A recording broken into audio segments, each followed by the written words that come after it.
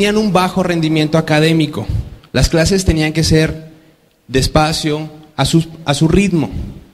También ellos presentaban miedo y aislamiento. Eran muy agresivos y tenían conductas sexuales inapropiadas. Algunas eran precoces, otros tenían problemas para tratar relaciones humanas de afectividad con los que les rodeaban. Después de esto, hice mi trabajo de titulación, me gradué e estuve trabajando un año en una primaria fuera de la ciudad. Después de trabajar este primer año, decidí renunciar a la plaza de maestro. Y ahí fue cuando mi vida tomó otro camino. En ese momento ingresé a un seminario religioso, donde se preparan los futuros sacerdotes, pero esa es otra historia, ¿sí? Ahí tuve la posibilidad de llevar estudios filosóficos, de conocer a algunos autores, a José Vasconcelos, autores mexicanos, a Octavio Paz, a Leopoldo Sea, a varios autores de esta naturaleza. Pero también tuvimos la posibilidad de aplicar un poco de psicología, porque, siendo sinceros, todos tenemos problemas que resolver. ¿sí? Ahí fue donde conocí la técnica que se llama terapia narrativa consiste en analizar elementos de tu personalidad para luego irte al pasado, a tu historia, y descubrir en qué momento se originó esa conducta que estás presentando. Vas hacia tu pasado y lo reencuadras. En este reencuadre sirve para ver otros elementos que se te perdieron de vista, para así poder tener un mejor presente. Esa fue mi experiencia dentro del seminario. Después decidí salir de ahí y mi vida tomó otro rumbo. Hace tres años tuve un viaje con mis hermanos a Chiapas. En Chiapas tuve la posibilidad de conocer otro mundo, otro panorama. Fue mi primer viaje fuera del estado de Chihuahua. Y ahí conocí ciudades y zonas como San Juan Chamula, su colorido, San Cristóbal de las Casas y su belleza colonial, también las zonas arqueológicas y el México prehispánico. Eso abrió un panorama increíble para mí. No es lo mismo ver fotografías o ver las cosas en los libros. Es distinto cuando estás ahí, cuando hueles la tierra, cuando sientes otro tipo de calor, cuando estás en el terreno y dimensionas todas aquellas obras. De regreso de este viaje, me puse a pensar en lo maravilloso que es nuestro país, pero también en la cantidad de problemas que tenemos. Eso me puso triste. Y de alguna manera conecté esas ideas con mi pasado. Me di cuenta que los problemas que tenemos como país eran los mismos problemas que tenían aquellos adolescentes donde hice mis prácticas profesionales. Desórdenes alimenticios. Nuestro país ocupa el segundo lugar mundial en obesidad. Creo que en este proceso estamos compitiendo con Estados Unidos y vamos ganando terreno. En adicciones. Somos el país que más consume alcohol de América. Hay 30 millones de personas que consumen alcohol en exceso en este país, algunas de las cuales están aquí presentes. ¿Sí? Bajo rendimiento académico. Es de todos conocimiento que estamos muy por debajo académicamente de los niveles internacionales. No promediamos con los niveles de la OCDE. Ese también ha sido un problema, la educación que tenemos. Luego, la agresividad. ¿Qué podemos decir de nuestro país en cuanto a la violencia?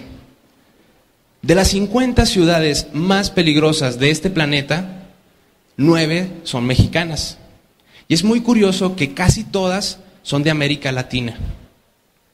También tenemos otro indicador, conductas sexuales inadecuadas. A lo mejor en México no se habla mucho de esto, pero el 30% de la población ha tenido, padecido una enfermedad de transmisión sexual. También, en otros términos, en la dificultad de relacionarse, de mantener relaciones afectivas, podemos decir que los divorcios van a la alza, los matrimonios van decreciendo y pues como un pequeño dato nada más, si ustedes piensan casarse, no lo hagan en Chihuahua, porque estadísticamente es más probable que si se casan aquí terminen divorciados. Entonces, cásense en Aldama tal vez. Si ponemos a México como este adolescente que tiene estas problemáticas y nos vamos a su infancia para conocer cuál fue ese pasado, podremos descubrir que tuvimos un pasado de abuso, de maltrato, de violencia. Todo eso nos generó identidad, una identidad que se fue conformando a partir de esta violencia, de este pasado traumático. Tenemos un padre, un padre Europa, que vino, abusó de nuestra madre y se fue. Tenemos una madre nativa que no nos pudo recibir muy bien. Así que, como nación, nos quedamos solos, abandonados, buscando quien nos quisiera. Y eso fue el proceso que nosotros tuvimos como nación. Es aquí donde entra la posibilidad de solucionar, de solucionar este problema de nuestro pasado. El proyecto consiste en crear un equipo de varias disciplinas del conocimiento para poder regenerar un programa de historia que se imparte en la educación básica pedagogía, historia, psicología y filosofía trabajando en conjunto para generar una nueva asignatura de historia, con este enfoque de la terapia narrativa. Necesitamos darle terapia a nuestro país. Es posible entonces que muchos de nuestros problemas sociales se puedan resolver con una manera nueva de entender nuestra historia. La historia no solamente son datos fechas, acontecimientos. Si yo les pregunto qué día del mes, pudiera ser incluso qué día de la semana, ustedes tuvieron su primer beso. Los que no han tenido su primer beso, no se agüiten, ya vendrá él o la indicada. ¿Sí? Pero eso no es lo importante. ¿Qué pasa si les pregunto qué sintieron en su primer beso? Eso sí lo recuerdan. Eso sí es significativo para su historia. La historia no solamente son los hechos, son las emociones, son los motivos que han movido a los personajes de nuestra historia a hacer lo que hicieron. Conocer, conocer los motivos es lo que permite generar una conciencia histórica de una nación. Ahí es donde nosotros nos hemos quedado en las típicas preguntas de un examen. ¿Cuándo y dónde se dio el grito de independencia? ¿Alguna vez a alguien le han preguntado en un examen de historia, ¿qué crees que sintió Miguel Hidalgo al estar dando el grito de independencia? Nuestra identidad ha sido, ¿cómo decirlo?, como de pasos de patriotero, aquello que tiene significado en el momento. Hemos pasado de ser patrioteros y no hemos tenido ese encuentro auténtico con una identidad nacional. Asimilar nuestro pasado, lo asimilado, forma parte de nuestro ser. Algunos están asimilando crepas en este momento, ¿sí? Pero ese ser asimilado de un pasado nos va a permitir un seguir siendo como nación. Ahora les voy a hacer un pequeño ejercicio que comprueba este punto. Cuando yo estudiaba la historia de la independencia en la primaria, me llamó la, atención un pequeño dato. Este dato consistía en que cuando Miguel Hidalgo estaba dando el grito, cuando Miguel Hidalgo estaba dando el grito de Dolores, gritaba viva la independencia, que no sé qué, muera el mal gobierno, Viva Fernando VII. ¿Quién es Fernando VII? Era el auténtico rey de España. Entonces, ¿a cuál mal gobierno se refería? En esa época en Europa estaba un personaje muy importante de Francia, Napoleón. Y toda la cultura francesa traía nuevas ideas sobre cómo manejar un país y la política.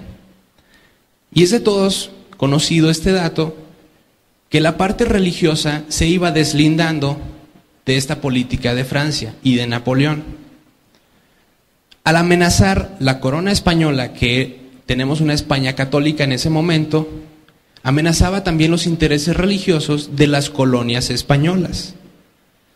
Ahí los mexicanos vieron la posibilidad de separarse de España, no para independizarse, sino para que el gobierno francés no interviniera en sus decisiones religiosas.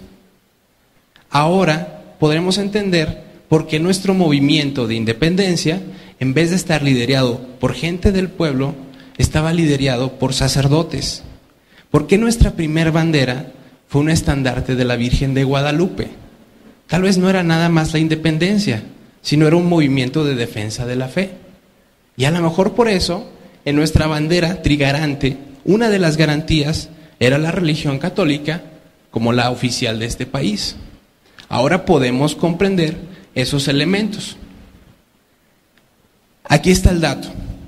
Nosotros podemos trabajar juntos para generar un nuevo país. ¿Qué es lo que tenemos que hacer? Empezar a comprender más allá nuestra historia. Empezar a darle emociones a nuestra historia. ¿Para qué? Para poder tener un futuro mejor. Muchas gracias.